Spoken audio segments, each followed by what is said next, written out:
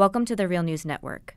Recently, executive producer Eddie Conway was featured on a panel about U.S. political prisoners at Red Emma's, an anarchist bookstore in Baltimore City. The following is an excerpt of Eddie Conway speaking to the current political climate in the U.S., as well as offering advice on how to best organize towards the release of U.S. political prisoners. I think it's important to understand that every, every political prisoner that's ever got out of prison in the United States of America got out not as a result of a mass movement in the street, but got out as a result of legal actions in the court and people behind it. I think one of the most important things, especially now in the age of Trump, is to build a strong mass movement to challenge not just what's happening in the prison, but what's happening in the street. Because if you can build a strong movement, then you can acquire the kind of funds and acquire the kind of legal minds that's necessary to fight to gain the freedom of people that's been in prison, and some of them have been in prison for almost 50 years now. Uh, some of them were in prison in particular the Black Panther political prisoners, before I got locked up.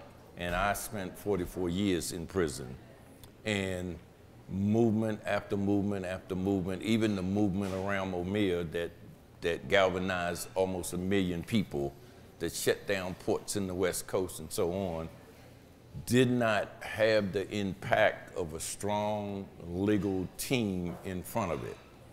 And it's important it's very important that we build that kind of a movement on the ground among ourselves because political prisoners not only are isolated in the prison system and labeled as criminals, but it's hard for them to survive in the midst of a prison system if there's no comrades, no education, no support out on the, on, on the ground. They need that they need that in order to maintain their spirit, but they need that also to maintain their status. And what I mean by that is that you get people like Leonard Peltier, say for instance, uh, who uh, an indigenous political prisoner, He's been isolated for years. He gets moved around. He's not recognized. He's attacked. He's uh, uh um, abused not just by the guards sometimes, but also put in compromising situations in which he gets hurt by other prisoners. Uh, something similar just happened to Herman Bell up in New York uh, recently. Uh, I got isolated, pulled off by the guards, beaten, and it's very little that can happen if there's not if there's not a strong network out in the community. And in particular, and I think David makes the point that it's really incumbent upon the white community to organize. It's incumbent upon the white community to push back because one of the problems of Trump beyond Pence is that the right wing, the white nationalists, the white Nazis, the white fascists want a race war. That is their only solution. The ruling class uh, supports that. Their only solution is a race war because the only war they can win is a race war with the backing of the government. They can't win a class struggle. They can't even win a civil war but they can win a race war if they divide and conquer. And what we have in front of us now, and I'm sure it's going to come up, uh, the, the J20 and other cases, it's a lot of people are going to jail now for, for just protests. A lot of more political prisoners are going to be inside in a minute. And part of that whole attack about protests and whatnot is the same thing that history shows us happened in Nazi Germany. They isolated various people uh, initially in Germany, and I'm talking in the early 30s. They isolated what they considered the criminal class. And they filled the prisons and the concentration camps up with criminals. And the rest of the people in society say, oh, they're breaking law. They actually they were selling drugs too, uh, and they're doing all these things. And yeah, lock them up. It's okay.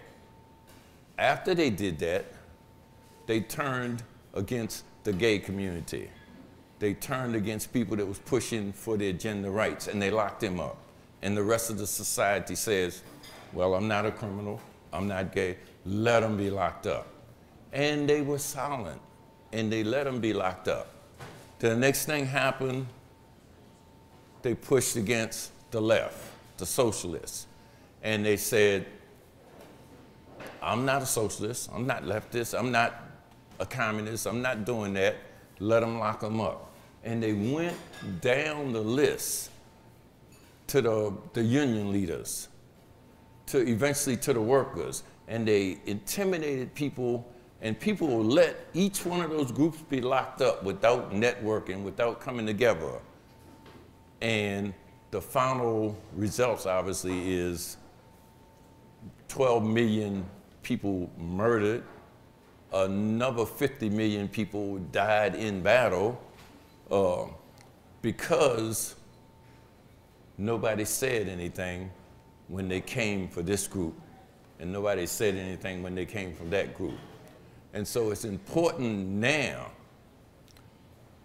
to start speaking up and start making your voice heard. And I know I'm probably preaching to the choir. I'm, I'm hoping I'm preaching to the choir, you know. Uh, but but make it known that this whole fascist push that's taking away the social safety network, that's a, a personal peeve that, that just came to light for me that's closing down Gilmor homes, that's attacking the black community and gentrifying everything and leaving vacant spaces throughout our community, that's an attack. And it's an attack that's going to put, and I, I, I don't want to take up too much time, but it's an attack that's going to put poor people out in suburbia in Section 8 houses with no cars and no way to maintain themselves and no jobs to come back to because the transportation won't allow it. We have to recognize that this is already in play. And it's not just white fascists, because there are black fascists, uh, black people working with white fascists. You know, so we need to be aware of this and we need to start circling the wagon and build the kind of movement that can push this stuff back. Or we're going to see a lot more David Gilberts.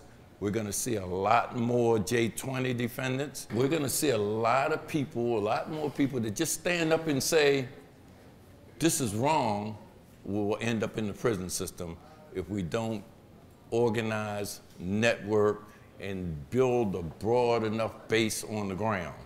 But ultimately, it's got to be about finance, lawyers, uh, in order to get those political prisoners that's inside out.